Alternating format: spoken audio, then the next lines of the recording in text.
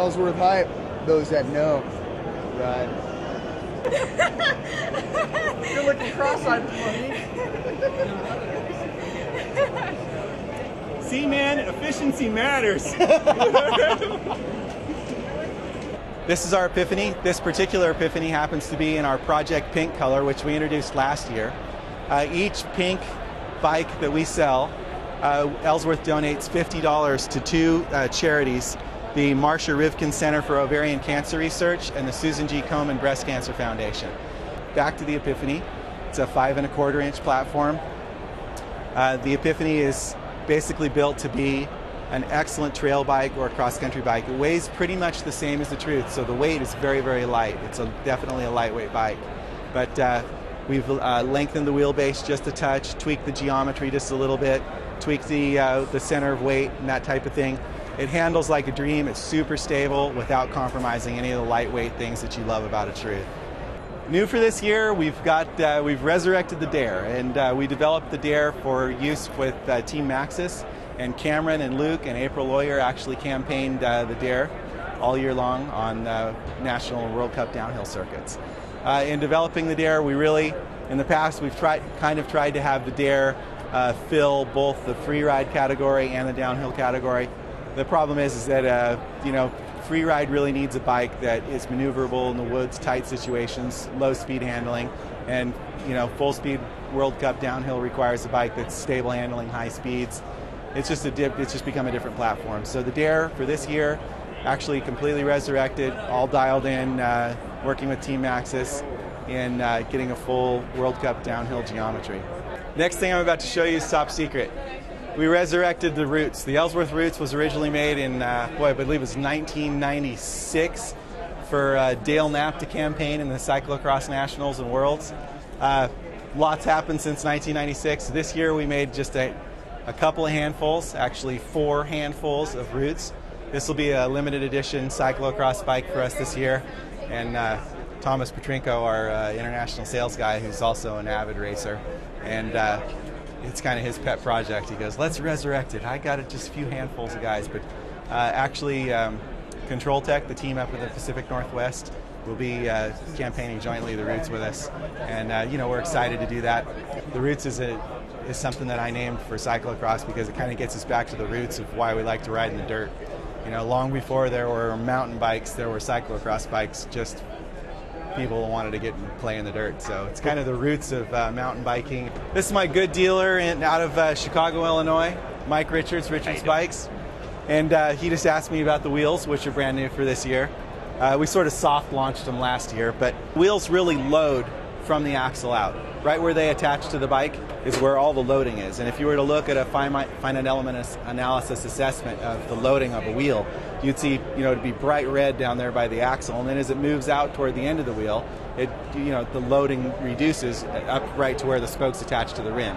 So if, if, you, if you think about that and you think, okay, well, the wheel really has to roll while it's loaded, particularly a mountain bike wheel, which is taking all the impact and everything from every single bump, translating right through that axle, through the dropouts, right where the, where the contact patch is to the bike is the most important. So what I wanted to do is put a lot of good mass and the, the quality of the bearings and the number of the bearings and the size of the bearing, I wanted to pay special attention to that so that when there's a 200 pound rider, a 180 pound rider taking, you know, 50, you know, 50 mile an hour, 30 mile an hour hits on the bike, no matter how big the hit is, that those bearings would still perform because we're dissipating the load over a larger surface area. The most important thing you'll notice uh, about the Ellsworth wheels is that the, the bearings are, are very large, and then uh, the next spot where the load goes is to the spoke, which is going to carry it out to the end of the wheel. We use a patented quadruple butted spoke. so if you zoom in really close there, you can see that the head of the spoke, where normally that load would, would want to fatigue and break that spoke or get flex in this part of the spoke, the head of that spoke is very, very big, and then it tapers down, and it tapers down again, finally makes the fourth taper, and then tapers back up to the same taper here. So you're finishing with a 14 gauge. This isn't showing the nipple because it's carbon fiber, the nipple's internal. But uh, you're finishing with a 14 gauge uh, nipple, but you're down to like a 12 gauge or like 11 and a half gauge uh, head where the where the quadruple butted straight pull spoke is. So we're really maintaining a lot of stiffness in the wheel from the bearing out. The other big thing that I was uh, wanted to pay attention to on the wheels is you see a general movement, everybody wanting to go to a bigger tire. I want to put a 2.2, I want to put a 2.3, and gee, I lose mud clearance. Well, the reason you're losing mud clearance is you can take, you know, no matter how big the circle is, if you're bringing it around to go on a 30 millimeter wide rim or a 28 millimeter wide or 25 millimeter wide rim, all that's going to happen with that circle is it's just going to turn oblong and get taller. And that's not that's not getting you a larger contact patch on the ground. It's just getting you more rubber weight and it's getting you less mud clearance in front of the tire. Well, so what I wanted to do is offer a wheel where across the board I could do my own little analysis and say, okay, well, this particular rider, for example, if we go back to our 32 millimeter wheel that we started looking at, yeah, this is the all mountain wheel. The wider rim. Yeah. To try and say, okay, this rider that wants an all mountain wheel, this guy's wanting, you know, a significant contact patch on the ground. And so in order to get that contact patch, rather than have that rider have to go to a 2.3 or 2.4 uh, inch wide tire, I wanted to offer a 32 millimeter rim platform, which is a little heavier than other all mountain wheels you can get. But by the time you put a 2.1 or 2.2 on it and get a big contact patch on the ground, your entire wheel weight is way lower. Also, we've got a stiffer wheel. Aluminum is lighter than rubber. Aluminum is stiffer than rubber. So you have a lot better trackability and control and strength in the wheel by you know, using a little larger cross section on the rim extrusion. So we have the 32 millimeter all mountain, it's the 40 millimeter Rogue wheel. This uh, ships standard on the uh, with the Rogue as a 12 millimeter through rear axle and 20 millimeter on the front. And then we have the uh, cross country cross country aluminum, and then we have a cross country carbon fiber. So this is the moment, kind of uh, next up the, the travel game. It's a six inch travel bike. It's configured specifically uh, with the Fox DHX platform and a 36 Fox front fork, so you have six inches matched travel front and rear. One of the things we did this year in an effort to be able to do, uh, deliver more timely is we actually made an investment in a beautiful five-axis horizontal milling station, and uh, it allows us to do some some great detail on our machine parts. That's the Rogue. That is just an incredible all-mountain freeride bike. One of the things that uh, a lot of the a lot of the real, uh, you know, like a downhill trial style rider, the low speed drops and low speed maneuvering. One of the things they love about the bike is that it has the eight inches to absorb just about anything. But because of the energy efficiency of instant center tracking, they can pedal kick the bike like nothing else with that kind of travel. They've got great control over the bike. This frame is extremely lightweight, even with the coil shock for a bike with eight inches of travel. It's been super durable.